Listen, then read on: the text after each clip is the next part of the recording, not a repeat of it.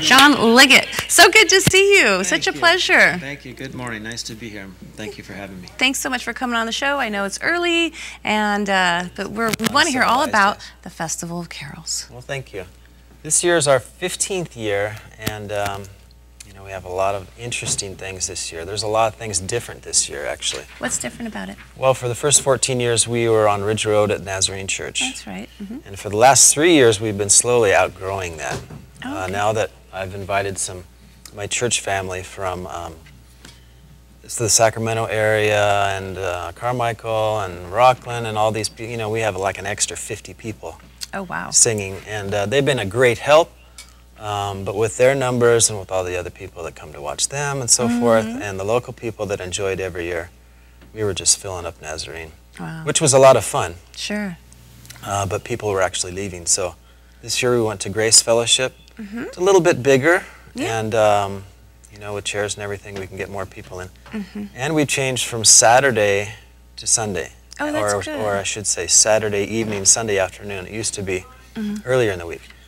p.m. Sunday at 3 p.m. And Right. that's at Grace Fellowship Church. If you're not familiar with where that's at, that is at the end of Jackson on 49, heading out towards Moke Hill. Yep, Butte Store right there. Yes, The old yes. Butte City. Fabulous church too. I mean, Mark an and Martha. Johnson, Nice they're people. awesome people. They pastor there, and the church is really good size. I wouldn't say it's Mm-hmm. overwhelming, but you can get quite a few people in there, and very comfortably. And it's just you know they they decorate, they make it really nice for everybody. Um, so that's going to be a good time. So tell me about the lineup for the music.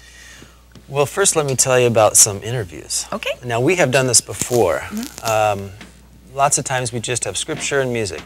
And sometimes we'll bring in um, people local that, you know, have been helped by the food bank and so forth. This year we have someone from the Philippines, one of the Philippines islands, that grew up in a headhunter tribe, Wow. of all things. How interesting. Yeah. And then we have Josie Vasilovich. Evo was the barber here locally for years and years.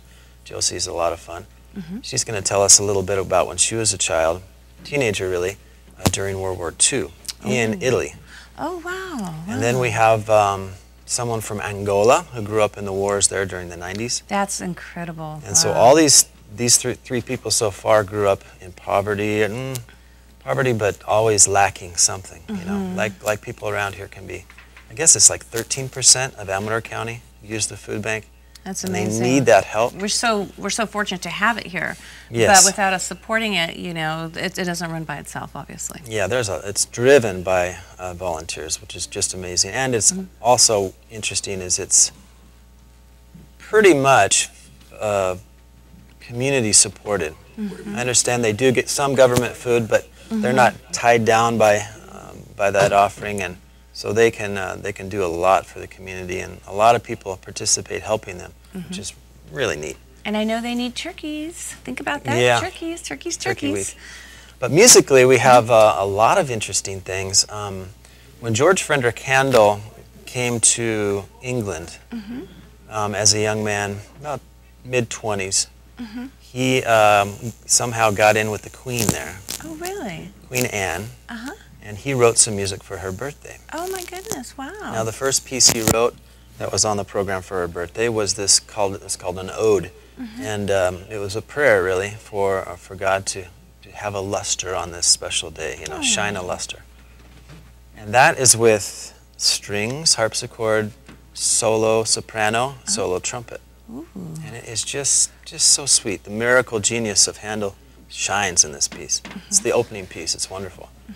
And then we have um, a piece by Randall Thompson. Randall Thompson was a great American composer.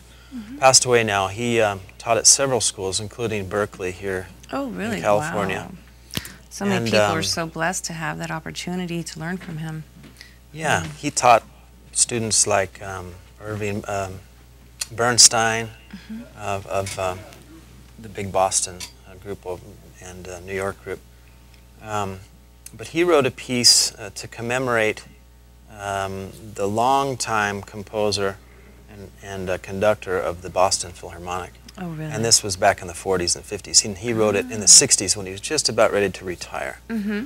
Um, they had a great uh, youth summer program back in the north part of um, uh, New York. Mm-hmm. And to commemorate that, he wrote this piece. And it's really, really What's the powerful. name of it? It's called The Last Words of David. And are you you're playing that then? Obviously, the, the whole choir and the band and the yeah, orchestra. it's a really neat piece. wow, good. I look forward to that. That Yeah. would be amazing. But we'll have the African style group back. Oh, good, This good. is Angolan, uh, traditional in the tongue of Angola, the Mm-hmm. old tongue, not the Portuguese, but the old tongue. They're singing. They're a lot of neat. neat. Um, the Carmichael people will come back, and they have a real Gaither type Mm-hmm. sound. Um, there's a lot of interesting other little things too. Um, Such as. such as well we have um, uh, some old hymns that i found uh, how great thou art Oh, that's always beautiful. um, and this little little piece called jesus the name and um, because the orchestra is made up of um, volunteers Mhm. Some professional just one on a part but mainly young children Mhm. you know 18 and under normally right? um, you know i have to write out the music for them so that they can do it Because you compose it to their abilities. Is that right? Yeah, it's, Mhm. and it's a lot of fun. And so we, we take these old hymns and I listen here, I listen there, so I put something together. Mhm. And those have been a lot of fun for them. I think they're getting the most out of it this year as the young orchestra. Oh, and that's such a great opportunity for them to, you know, practice performing, to play as a group. Um, and it's always interesting, I think, because when you add vocalists to orchestra, um, I mean, it's it's double the fun, double the trouble, double the effort. You know, would you agree? Certainly. Yeah. Uh, the choir has one unique aspect, and they have words. Mm-hmm. You know, instruments obviously don't have words, but boy, when you put that aspect into it, suddenly the peaks make sense. That's why we're supposed to get loud here. That's why we're supposed to get soft here. That's why we need, you know, attention to detail here and so forth. It's a lot of fun. Yeah, it is neat, and then that's that's just another um, way for people that are in the orchestra to really learn a different aspect because. Like you said, this is their cue. Okay, we, you know, we crescendo because it's this point, and then you know we tone it down because someone's singing over it. And I think it's a really neat opportunity for people. Yeah, the words dictate the music, which, which makes it a lot of fun. Mm-hmm. And then later in December, uh, the third Saturday in December, we're going to have a similar concert, but it's going to be in the old church in Ione. Oh, that the beautiful, old Methodist beautiful church. Yes, I've and been the in there. acoustics are really, really great. Uh-huh. And so it's so much fun to, to sing and play in there. Mm-hmm. And so it would be fun to have people come down there. That's the third Saturday. That's November. You're invited. Thank you, thank you. And, I look uh, forward to it. One reason why, uh, especially you, is because of all the food that'll be happening there. Tell us about that, because food. People love food. Anything with food, everybody loves that. Well, last year was kind of our kickoff year, and we had a full house, and we had lots of fun.